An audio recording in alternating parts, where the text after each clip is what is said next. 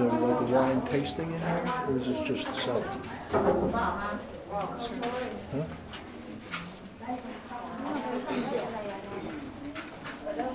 Huh?